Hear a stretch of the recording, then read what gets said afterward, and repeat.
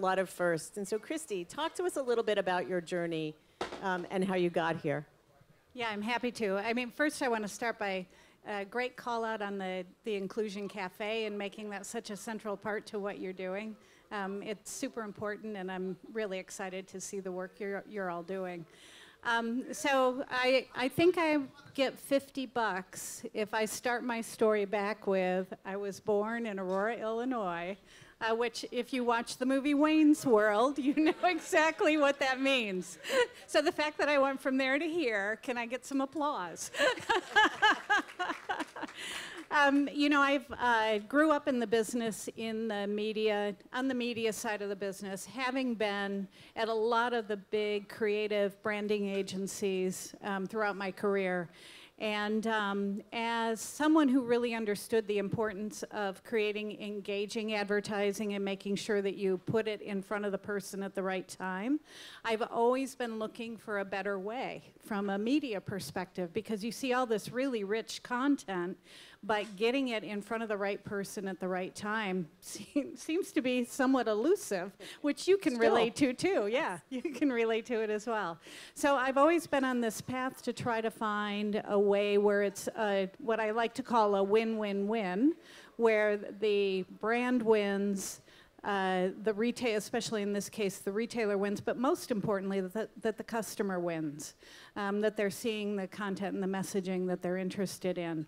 So I did the creative agency side, then actually went to one of the big media holding companies. And um, from there was actually uh, tapped on the shoulder by Target to come head up their entire media practice. And out of that practice was born Roundel, which was their entrance into the retail media space. And, um, you know, it's such an interesting space because it's incredibly valuable to retailers. Um, but at its best, it's actually even more valuable to the customers, to consumers, because we're giving them the information and the engagement that they're looking for. Uh, and I also love the idea of most of us are approaching the market as a, what I like to call a co-op garden. So we're not a walled garden. Uh, we're a co-op like garden. Our intent is to drive this accessibility, transparency in the industry. And so to be these big scaled media solutions in the marketplace that haven't been around before and to have it be transparent is really transformative for the industry. That's great. I, I not only remember um, how much of an advocate you were on the creative agency side in terms of integration, but really keeping the end customer in mind and working on so many iconic brands. I, you know, before we jump into retail media networks, I just, I just want to ask you, how do you feel about women in the industry? I mean, obviously, a lot of women come up through media. Do they stick when they get to the middle? Um, and what's been your secret sauce? How have you mentored as many people as you have, and what do you want to share with the audience? Yeah, I think, you know, um, if you look at how generations who have come into the marketplace after I did, um, there is a very rapidly evolving way that people want to be led and managed. And I actually think that women learn that we're, we're, we're naturally wired for that more. Like we don't have to conquer something. We want to bring everything along. And that, you know, that management style is something that comes really naturally to us. So one of the things that, you know, there are a couple of things that I share with the women that I mentor. First off, trust what you know. So many times we're quiet for multiple years in our career because we're not quite sure we we got it right. And so we listen and we're like, they just said what I could have said 15 minutes ago. Oh, um, so trust that you know it. Uh, and then the other piece is just, you know, trust that the, you know, being vulnerable in the workplace is actually a strength, it's a superpower. And it's the way that people really buy into you as a leader is by showing that you, you have weaknesses too. Um, and, uh, you know, I think it's a requirement now, especially when you look at some of the generations that are entering the marketplace now. Um, they require that you show up with vulnerability, otherwise, they don't trust you, and they're not going to buy into what you're asking them to do. So appreciate that. I think, um, you know, as we look at new frontiers like retail media networks, you know, you have to consider the fact that this intersectional generation um, is also looking at our industry differently than we ever looked at it. So I appreciate what you're saying about women leaders, et cetera. Let's, let's dive into what a retail media network is. And the reason I say that is, you know, the topic for this panel is really getting into things like standardization. But before we get into what I like to call the sausage making, truth of the matter is we have to level set. What's the landscape? How is it different than shopper? How do we talk about this? Because, you know, we're really excited about the fact that there's a consumer opportunity at the other end of this. We talked about it, and you just talked about it a few minutes ago. That is pretty special when you think about the fact that from a media moment all the way through to a sale and then back around, you can actually get to know the consumer on a pretty local level when you consider some place like Albertsons as an example. But tell us about the landscape. How is it different than Shopper? And set the table for us. Yeah, I'm happy to do that. So Shopper started as the Sunday Circular, the wall of TVs in the big box store, um, the signs at the end of the aisle that kind of, you know, extol the virtues of the brand and then it's on sale. And then what started to happen is that as shoppers started to become more digital, as we started to gather more data on shoppers as a result of loyalty programs, it suddenly became apparent with our websites and our apps that we were now starting to sit on the makings of a media company, not just point of purchase media uh, that we had been doing before. So um, once you started to really lift the hood and realize, like at Albertsons, I can, um, I have 100, 106 million marketable adult, real people consumers, real people doing real things that we can bring to the market that people can advertise to. And then on the other end of that, especially if you're a CPG, I can, I can prove that the product actually moved out of the stores. And so it is the perfect media situation if you think about it. And why people are getting really excited about it now is that there is going to be a lot of data. Uh, I, I, between, between two friends talking, I call it crap data, that's going to come out of the marketplace. And so um, advertisers are looking for other high quality data sources. And this isn't just another data source, it's actually an improvement because it's based on first party, it's privacy compliant in the way that we gather it. Uh, we have, everyone is opted in. Uh, we, we handle it in a really appropriate way. So now what has been based on cookies is going to be based on real people activities, which it's an upgrade. Uh, and so people see that coming and are super excited about it. I, I love the fact that, um, first of all, you're seeing these people, what, twice a week? And so you're not talking about incidental data or opportunities that are coming once a quarter, et cetera. And so that intimacy, everybody that's been talking all morning on the panels um, have been talking about relevance. This is hyper relevance and such an, we own a location company, so we understand, you know, how hyper relevant some data can be if used properly and in a connected way. And I love the fact that you're seeing folks twice a week. Yeah, and if any of you shop at any of the Albertson stores, we have 20 some brands that sit under our umbrella. Um, think Safeway, Jewel Osco. Uh, these are really big local brands that you know. Every single one of the stores is uh, merchandised to meet the customers that shop it. And so to be able to bring that same kind of customization to marketing, to digital marketing, Online and offline. online and offline is just super interesting to us. And our, the sales that we're tracking are all sales, so it's store as well as online shopping. Um, so we've, we're covering it all, two and a half times a week, as you say, on average, is how often we see these people. It's amazing. I definitely am going to the store too often. Um, I, I think that just as we dive into more of how it's all done and standardization, which was our topic, um, one of the things that you know comes to mind is there's clearly a landscape that's being pulled together by about 100 companies, let's say, and and I think the premier end of the market's probably 20 companies. But I'm going to let you talk a little bit about that from the inside out. In terms of the fragmentation in retail media? That's or the- yes. Thank you. Every day there's a new retail media company that pops that. up. Uh, so there are, if you think about it, there's, yes, there's probably 10 or fewer that represent the bulk of the um, shopping that's going on out in the world. Then there's some, there's a group the kind of the middle tail. Um, so the think of the biggest ones: Walmart, uh, Kroger, Target, Albertsons, Lowe's um, sees a, and Home Depot. They see a lot of volume. Best Buy sees a lot of volume. Then after that, um, you start to see retail media networks that have a lot of value, but they just don't see their customers as frequently. And um, so to understand what the differences are is really important, and that's a lot of what we'll get into when we talk about standardization. Um, but even take a company like Instacart, they have a very different shopping occasion than the shopping occasions that we see. A lot of value to what they represent and what they actually know, but it's not the same of what we know in terms of seeing our customers two and a half times a week. They have that shopping trip that you, some days you go in with the cart and you overfill it, and some days you just need a couple of things and you want to have it delivered. Um, so that's a very different need that you have in that moment, but there's a lot of value to market in one occasion versus another. Um, and so, really understanding what the value is of each retail media network is an important piece. Then you have a lot of people, companies that are aggregating the middle and the long tail. So, Criteo, Instacart, uh, the announcement that Publicis just had with their kind of the the Publicis media group that they're bringing out. Those are really great aggregators, um, which is you know a, a nice way to simplify that long tail.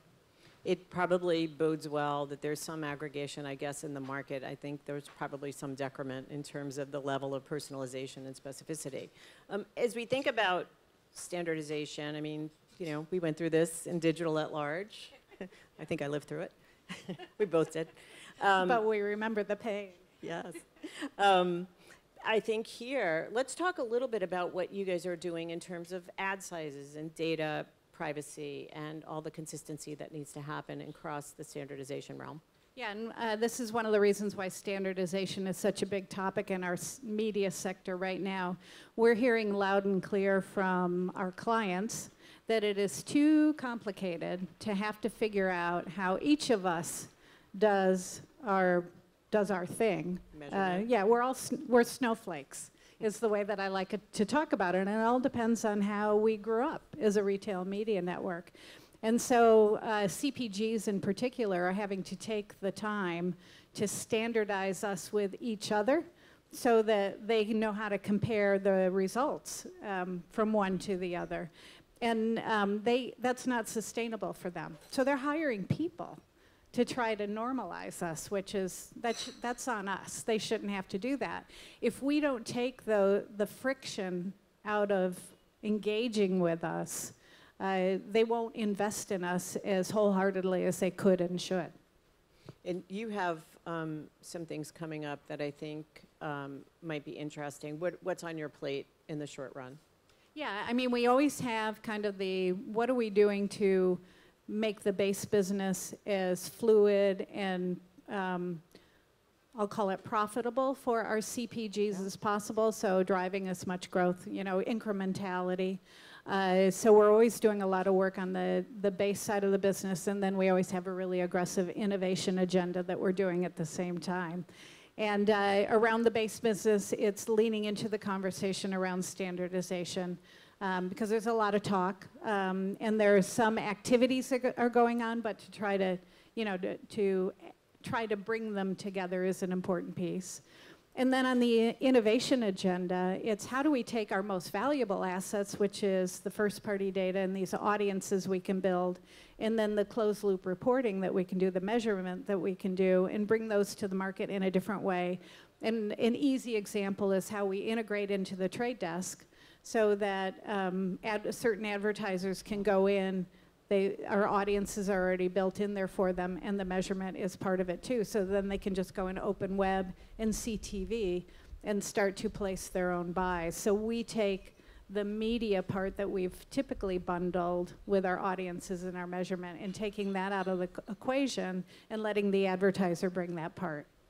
What, what do, do you think we've made enough progress to date, or have you guys, obviously you have your innovation agenda, have you, do you feel like you made enough progress, or is it really about RMNs in general making more progress? I think it's RMNs in general making more so, similar progress. Yeah. Like starting to just make it easier for everyone. And- Take the mystery out of it. And there'll be that collaboration, right? I mean, at some point, clearly, we'll have not just standards, but there'll be real collaboration as we adjudicate against, you know, customers and that end message. Yeah, and one of the, I do want to call out because it, you know you referenced what, what we were joking about programmatic in the 1990s, um, and this is really retail media needs to go through that same kind of upheaval to kind of clean it up, so it's just easier. So the IAB is doing a ton of work in that space and are going to be a great partner for retail media in particular. The ANA is doing a lot to help brands. So the industry is starting to coalesce around it, um, and I, this will be a big year for it. How do you think the agencies are approaching the topic? And do you feel like if you could call out and say, you know, here's how you jump on board with us, what, what would you say to them? Yeah, there's um, each holding company has a different way of engaging. Um, and then each CPG in their agency ecosystem has a different way of engaging because you know some have planning and buying in-house, some have their agencies doing part of it. I'm so surprised. exactly, exactly. So um, I, I, I, the holding companies, so some lean way in on the innovation side. And so they're trying to figure out how can I work with you with your data and your measurement and really bring kind of this performance uh, kind of media proposition back to their clients that has more of a commitment to driving outcomes, which is super interesting. And then others who think of it as I should probably be doing upfront buying with retail media. Like, why wouldn't you if you're already doing it with all of the other media types as well? And I think that you'll start to see more of that going into 24. Makes sense. I, I'll give you a breather for a second and just say one of the things that we've been focused on since I've been at Infillion is really finding a way not only to engage the customer in hyper relevant ways, but to really focus on respecting their time, attention, and privacy. And one of the reasons this talk has come about, and feel so lucky to be here with Kristi, is I feel like what RMNs are going to do and what you guys are focused on really delivers on that. I think this idea of delivering on respecting consumers' time, attention, and privacy, they're opting in, they really want it, they're looking at units they want to look at, et cetera. Any comment on that, just out of curiosity, that little trifecta? Yeah, and I, um, it is the promise that we've made to our customers. And um, the second we break that promise, the whole proposition falls apart, and it should. Um, we're all consumers. We know when a brand or a business or somebody has gone too far. We know when they're not living up to what I thought was the commitment that we made to each other. Um, and so that's first and foremost for us is to make sure that everything that we do is within that promise that we made to our customers. And we have to serve them properly. If they start getting a bunch of random ads because our targeting isn't quite right or we cut a corner in the technology, uh, that'll be, you know, we'll, we'll get opted out. I mean, you're talking about real scale across a very broad swath of customers, so that responsibility goes deep. Do you feel like you're doing something different, better at Albertsons? I mean, you've had other experiences. Do you want to talk a little bit about, you know, how you guys are, are fine tuning that? Give us a few tips. Yeah, I think um, probably the thing, just because of the nature of our business, is we're far more local than most. And that if you think about each of our stores grew up serving the community that they're in, um, and it just started to aggregate into this big national footprint. Um, and so I think that we are especially good at the local part. But the other piece is just the philosophy of Albertsons overall, which is life happens around food. And as long as we continue to remember the importance that food plays in our wellness, but also in the way that we nurture each other, it's quite a lovely place to play. And it has a lot of heart and humanity, and that's something that we try to make sure we keep bringing is that heart and humanity side of it. That's amazing. Thank you for saying that. I, um, I know this is a little bit of a, a consistent question and fireside chats or discussions, but in this case, look out five years. Um, how, how do you see this playing out? What's going to happen five years from now in the retail media network space? Yeah, m- my dream. I mean, a couple of things. I would love to see us having a role in linear TV. right? You know, how long have we been uh, using Nielsen data with broad demographics and impressions as a way to show that television worked when we can add to that uh, more specific audiences and proof that somebody actually went to a store and bought something.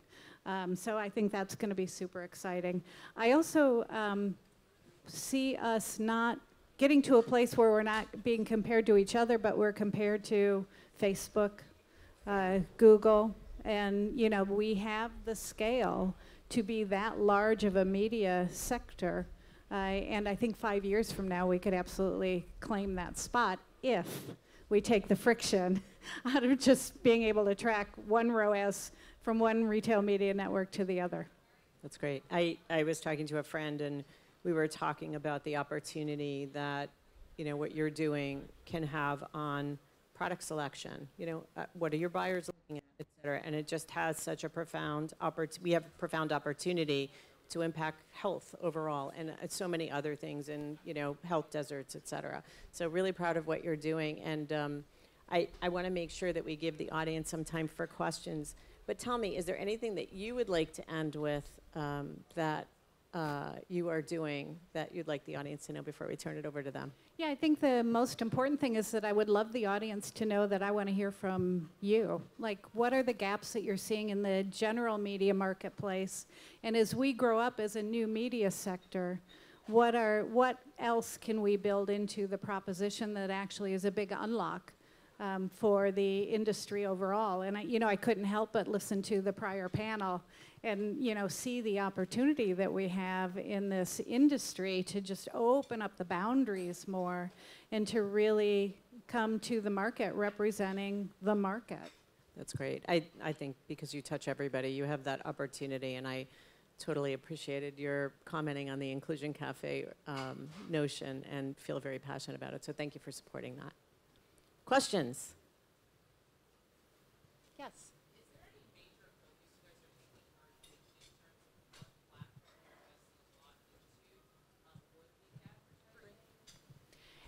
The, so the question is: Is there any focused effort, right, in terms of op- in terms of which media platforms we work with? Um, a lot of it right now is based on where the demand is from the CPGs in particular. So as you can imagine, it's the big ones, uh, and it sits. There's a lot of demand for Facebook and Meta right now, uh, and then there's a lot of demand for our owned uh, properties, which is our website and our app. Uh, and then, you know, starting to branch off into CTV, which is a very broad kind of video marketplace that gets really interesting for us because then you can start to see where multiple types of programming and media content will be part of what we bring to the market.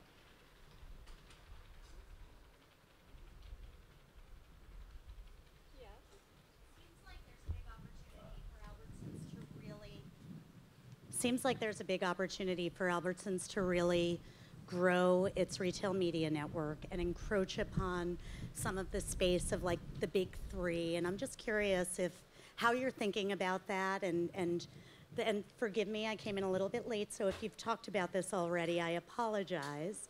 But anything about uh, your ambition and, and vision to get there?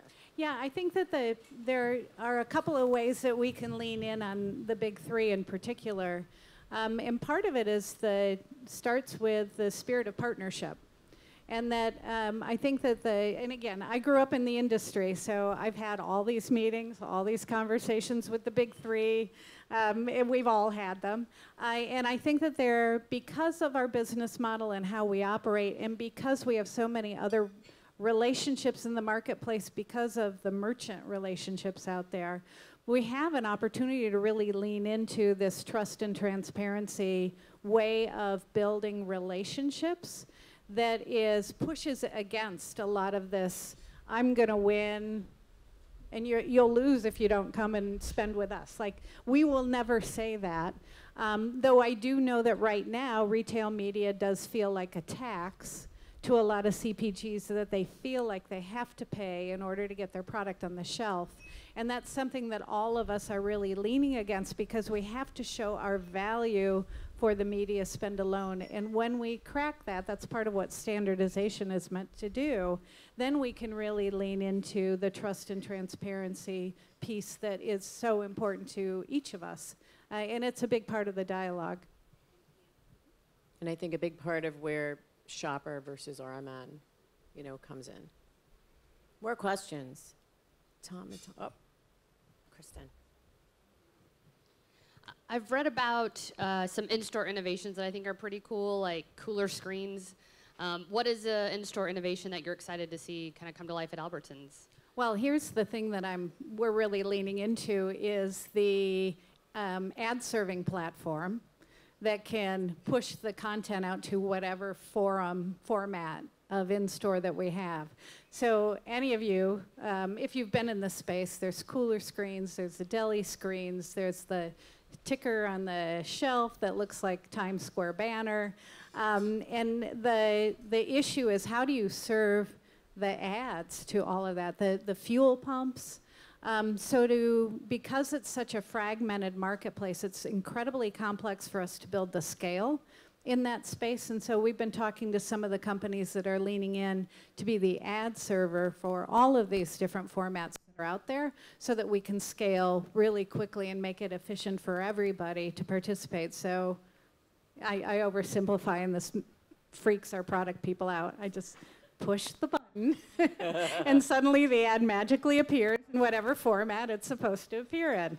Um, and then we can scale at a much faster pace. Because right now we've got one manufacturer that can give us, you know, a thousand screens to hang in the deli, and then I got to go to another one to get the other 2,000. And it's like patchwork, uh, and it's really inefficient.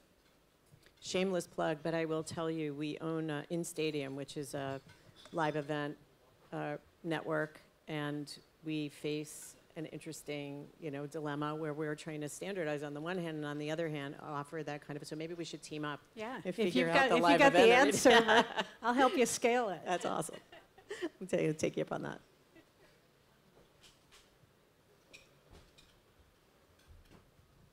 So with so many um, retail media networks popping up, uh, what's your take on data clean rooms actually being kind of a, a possible solution to unify data across the customer profile?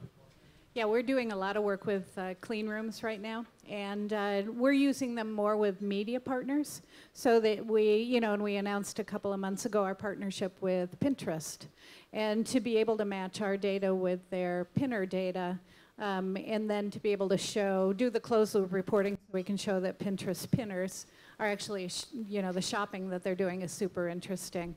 I actually think to the earlier question about the agency holding companies, that could be a really interesting place for them to take the data that they currently have, especially think of what IPG is an invest, has invested in and ha- has Publicis. So you take kind of these um, data uh, companies that have been around forever. And now you can start to think about ways to bring first party data, high fidelity data to match to it. It suddenly gives that database a whole lot more value than it even had before. So there's going to be a lot of innovation that's going to come in that space. I think some of the things we need to be careful of is, you know, the data privacy. Um, and also eroding what is probably our most valuable asset, which is our customers and then what we know about them through the first party data that we have, making sure that we don't ever step over a boundary and a commitment that we've made to them. But uh, we have we see a lot of promise in that. A lot of people are setting up in LiveRamp right now, but I know that um, there are really great competitors coming into the marketplace that we're keeping a close eye on.